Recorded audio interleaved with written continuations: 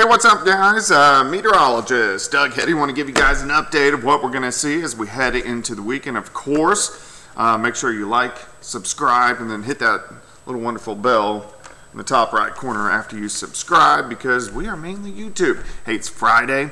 Uh, heading into the weekend, which is always nice. It's been super warm, windy today. We've had winds at times gusting, um, geez, 45 upwards of 50 miles per hour, which is kind of crazy kind of getting out there, but that's what we're going to see as we go through the overnight hours tonight. All right, any severe weather. This is mainly going to stay to our west. Western Kansas down through the panhandles of Oklahoma and Texas as this whole storm system is developing and heading toward us. It's a, it's a strong upper level wave, but um, it's going to kind of, in a sense, max out before it makes it here, so it's going to kind of stretch out. But still, we're going to have a severe weather threat as we go into Saturday afternoon and evening. Now, look where most of the threat is. It's still kind of low, but uh, something we definitely want to watch. But the highest threat is really from Kansas City, Emporia, Wichita, back toward Tulsa, and all of our southeastern Kansas, northeastern uh, Oklahoma counties. So that's where the highest threat is going to be as we go into Saturday evening. Mainly after, gosh, let's say 4 p.m. I think most of these storms will initiate in our far western counties most likely by uh, 5 or 6 p.m., and then they're going to start to march toward the east. But once they get to the I 44 corridor, they will start to weaken just a bit. So, uh, main threat's going to be hail and wind. I'm going to keep all the all the threats low for now. I may up these a little bit tomorrow. This is not a monster severe weather outbreak, but it could still cause us issues.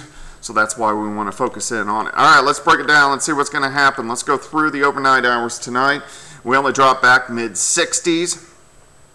Not too bad. Kind of in and out of the clouds. We are going to have a lot of trash clouds in the morning hours tomorrow. Trash clouds meaning leftover clouds from thunderstorms out toward the west. Uh, we could even get a few random little thunder showers trying to pop up late morning, early afternoon on the Kansas side, on the Oklahoma side, just kind of leftover convection from those storms out to the west. But it's late tomorrow afternoon that we'll have to keep our eyes on. So most of the day is pretty good. We warm near 80. Thunderstorms will try to initiate 5, 6, 7 o'clock. So this is mainly going to be from, uh, let's say, Yates Center, Iola, Chanute, Fredonia, Neodesha, Independence, over towards Sedan. That's where these thunderstorms are going to try to get going. Now, the first couple hours these storms get going, we are going to have a tornado threat. So the highest tornado threat, which is not screaming high by any means, but it's there, is mainly going to be west of Fort Scott, west of Pittsburg, west of Columbus, west of Welch, Oklahoma. So that's what we want to keep our eyes on as we go into tomorrow afternoon. All right, let's go into the evening hours. You can see these bands of storms working east. So here's 9 p.m. These storms are going to get into uh, most of the region, Pittsburg, Nevada, into Joplin, northeastern Oklahoma, Miami, Fairland, Commerce, heavy amounts of rain. But I do think at this point in time we switch over to mainly a hail and a wind threat. So I think the tornado threat will drop after 9 p.m.